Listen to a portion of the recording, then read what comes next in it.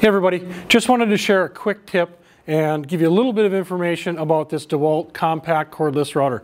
Now the compact routers have been one of our fastest growing segments on acmetools.com and this router is one of the main reasons.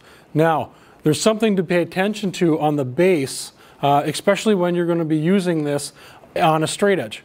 Um, when you look at the base, it's a little bit differently shaped. We've got a round section here and a large flat section here. When you're going to use this router on a straight edge, most people think that this is the side to use. And we're going to do a quick demonstration using this side. And a couple inches into our cut, um, my hand's going to move. Um, it's just going to wiggle just a little bit, but you'll see what happens to that cut. So let's get uh, ready to go here.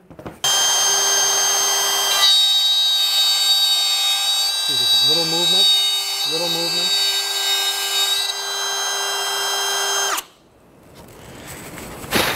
And you can see just that little bit of movement along your straight edge is going to wreck your cut.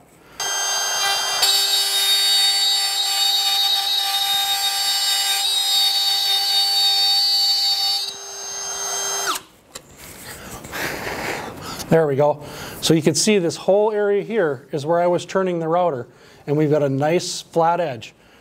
So whenever you decide to use a straight edge with your router, doesn't matter if it's a compact router or if it's a full-size router, make sure you use the round side against your straight edge.